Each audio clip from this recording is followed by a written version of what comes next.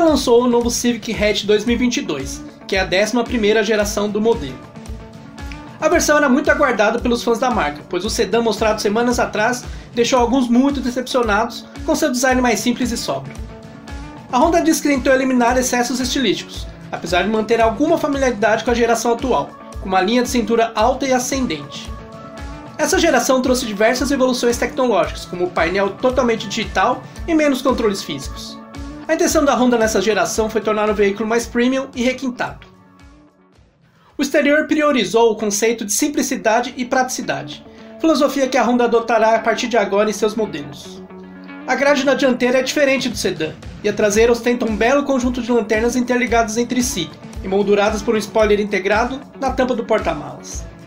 Em relação à geração anterior, a base do para-brisas foi movida mais para trás, o que diminuiu a área superior do painel e os reflexos nessa área. Com isso também o carro ganhou proporções mais clássicas, com capô mais longo e horizontal, além de ter ficado ligeiramente mais longo e largo, o que deu também mais espaço interno e conforto a todos os ocupantes do carro.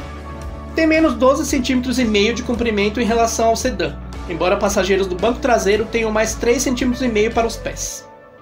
No interior, o uso de materiais mais bem acabados e com design simples e prático predomina. Painel totalmente digital será opcional e central multimídia do tipo flutuante, em versões de 7 e 10 polegadas. Há uma faixa dominante que se estende de ponta a ponta no painel, escondendo as saídas de ar e dando aspecto mais limpo e sofisticado à área, tendo no centro os botões físicos de controle, os únicos nessa parte. Sistemas de segurança também foram aprimorados, com câmeras e softwares mais eficientes que detectam a presença de ciclistas, pedestres e outros veículos. O Civic Hatch 2022 estará disponível com os mesmos dois motores do sedã, um 2.0 aspirado de 158 cavalos e um 1.5 turbo de 180 cavalos. O carro começará a ser vendido ainda nesse semestre na América do Norte, com sua produção no Canadá e Estados Unidos.